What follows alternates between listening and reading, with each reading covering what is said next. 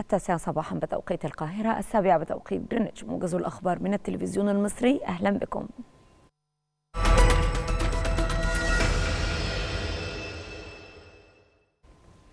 أكد الرئيس عبد الفتاح السيسي ترحيبه بالرئيس التركي رجب طيب أردوان في أول زيارة له إلى مصر.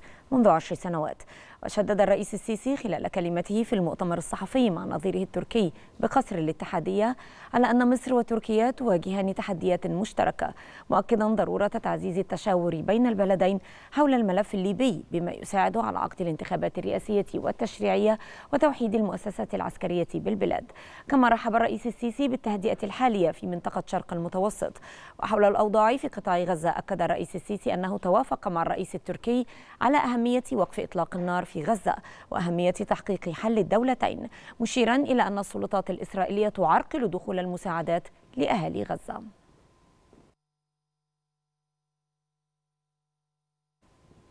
من جانبه أكد الرئيس التركي أنه تم رفع مستوى التعاون بين مصر وتركيا إلى مستوى مجلس التعاون الاستراتيجي رفيع المستوى. وأوضح الرئيس التركي أنه خلال لقائه مع الرئيس السيسي تطرق إلى الملف الليبي والصومالي والسوداني مؤكدا حرصه على وحدة هذه الدول الثلاث وأمنها واستقرارها.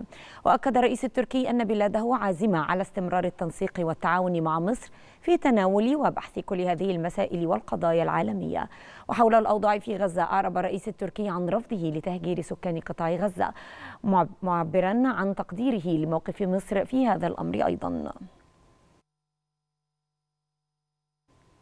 هذا ووقع الرئيس عبد الفتاح السيسي ونظيره التركي رجب طيب إردوان على الإعلان المشترك حول إعادة تشكيل اجتماعات مجلس التعاون الاستراتيجي رفيع المستوى بين مصر وتركيا. بدأ الرئيس البرازيلي لولا دا سيلفا زيارة رسمية إلى القاهرة حيث من المقرر أن يلتقي اليوم بالأمين العام لجامعة الدول العربية أحمد أبو الغيط. كما يلقي الرئيس البرازيلي كلمة أمام اجتماع مجلس جامعة الدول العربية على مستوى المندوبين الدائمين بخصوص فلسطين حيث يدعو دا سيلفا إلى إيجاد حل لبقاء دولة فلسطين حسب ما أفادت وزارة الخارجية البرازيلية. أجبرت قوات الاحتلال الإسرائيلي آلاف النازحين على إخلاء مجمع ناصر الطبي في خان يونس جنوبي قطاع غزة وسط تحذيرات من هجوم في مدينة رفح. وتفرض القوات الإسرائيلية حصارا صارما على مجمع ناصر منذ أسابيع. وطالبت بإخلائه من النازحين الذين أجبرتهم الحرب على الفرار من منازلهم واللجوء إلى المستشفى. ويطلق جيش الاحتلال النار على كل من يتحرك داخل أو خارج المستشفى مما أدى لاستشهاد وإصابة عدد كبير من الموجودين داخله.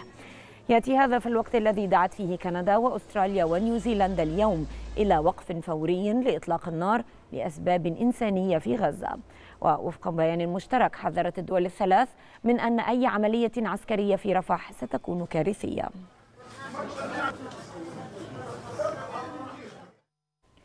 حذر برنامج الأغذية العالمي من أن تصاعد الاعتقالات والقيود الإسرائيلية على الحركة في الضفة الغربية يزيد من معدل الجوع بين الفلسطينيين.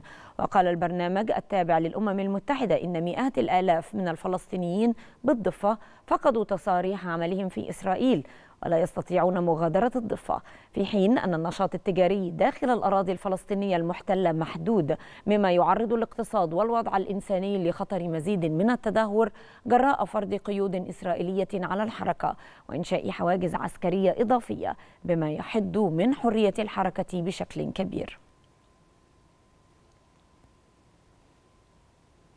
كثف طيران الاحتلال الإسرائيلي غاراته الجوية مستهدفا عددا من البلدات في عمق الجنوب اللبناني وأوضحت مصادر لبنانية استشهاد أكثر من عشرة لبنانيين بينهم نساء وأطفال في القصف الذي طال عدة بلدات بالجنوب.